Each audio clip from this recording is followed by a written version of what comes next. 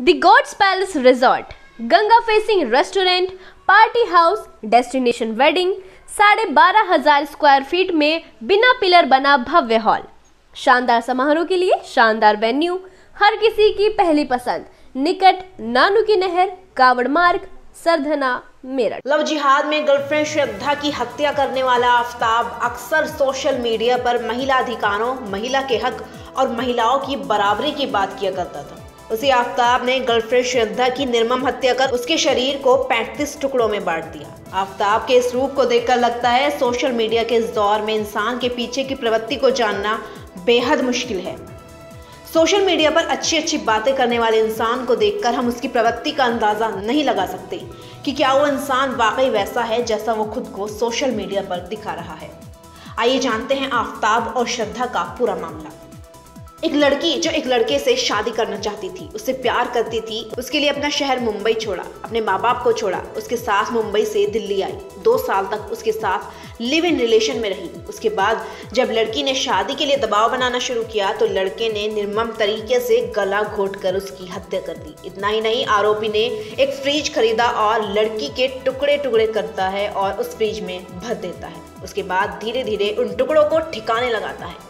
रोज रात को दो बजे जाता है और रोज एक टुकड़ा अलग अलग स्थान पर फेंक कर आता है। इस घटना ने पूरे देश को झकझोर कर रख दिया है। अब ऐसे भी क्या नाराज़गी की प्रेमी अपनी प्रेमिका की गला दबाकर सिर्फ़ हत्या ही नहीं करता, बल्कि उसके टुकड़े टुकड़े कर देता है। लेकिन ये जानकर आपको काफ़ी हैरानी होगी कि जिस फ्रिज में आरोपी श्रद्धा के टुकड़े रखता था, उसी फ्रिज में वह अपना खाना और दूसरी चीज़ें भी रखता था। और सबसे बड़ी बात यह है कि उस खाने को खाता भी था। ये बहुत चौंकाने वाला सीन है।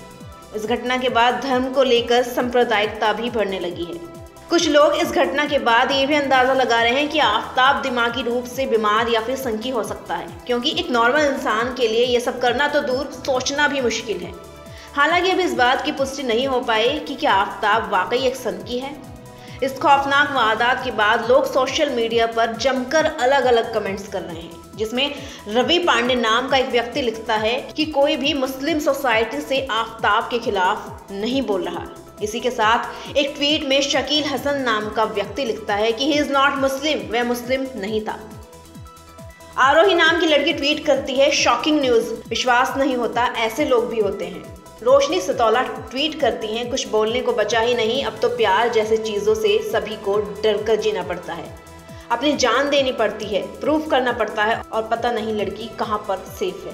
श्रद्धा हत्याकांड के खुलासे के बाद एक और वीडियो वायरल हो रहा है। देखिए ये वीडियो। मेरे को हर महीने लड़की पटाने के पचास हज़ार मिलते हैं और शादी करने के बाद पाँच लाख रुपए मिलते हैं। हम्म। करने के लिए बोला गया था मस्जिद से पैसे मिलते कितने? पाँच लाख रुपए। और लड़की घुमाने के लिए? पचास हज़ार रुपए।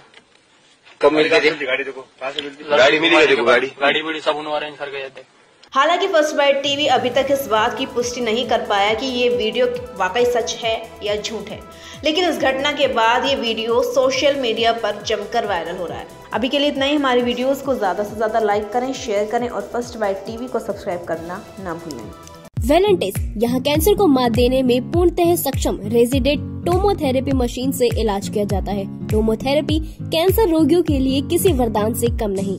कैंसर मरीजों के लिए समर्पित उत्तरी भारत का एकमात्र hospital, Valentis, Mawana road, Mussoorie, Meerut.